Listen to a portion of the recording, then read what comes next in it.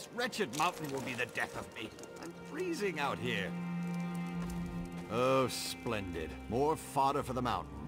I suppose that means we're gonna make another attempt to reach that wretched summit. Go present yourself to my lady. She should be on her way down the trail any moment. This is Sorrow. Apt name, don't you think? The House of Orsimer Glories in Orsinium engaged my lady's services to find the shrine of Torug gro-Igron. It supposedly waits at the snowy top. Only if you consider vile beasts, freezing winds, and falling ice to be a problem. We tried to climb the mountain three times now, and each failure was more spectacular than the last.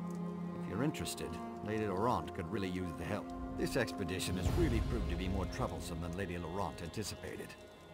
I hate to say it, but I think this time Sorrow might be more than she bargained for. Famous treasure hunter. I'm sure you've heard of her. We travel the land searching for hidden treasures, secret relics, and uh, other mystical things. I'm not at liberty to tell you much about our work, but it's very important. The House of Orsimer Glories. It's Orsinium's fledgling museum. They hired experts like my lady to scour the countryside for ancient relics related to Hrothgar's history, to display them. Instant culture for the tourists, you see. Legends claim that a powerful relic was buried with Orsinium's founder. Torug's shrine, my lady hopes to find the armlet of Torug, the bracelet that gave him the power. Karsten works for the museum and has been serving as our liaison and cultural expert. It has become clear that he and my lady disagree about a great many things. He's really beginning to try Lady Laurent's patience, I'm afraid to say.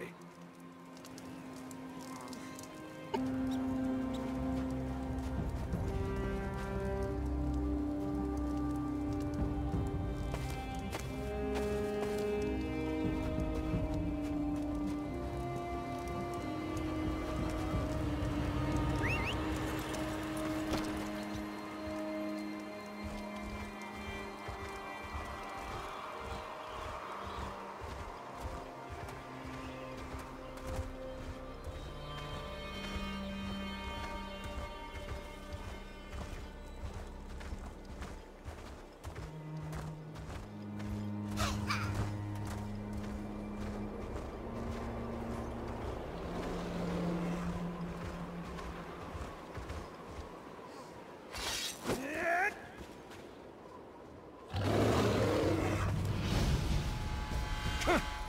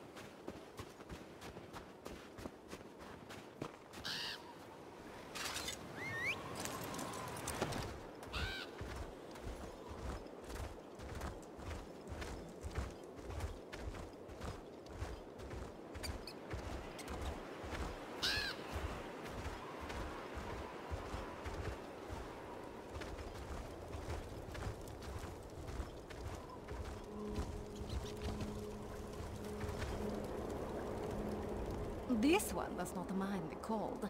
It keeps...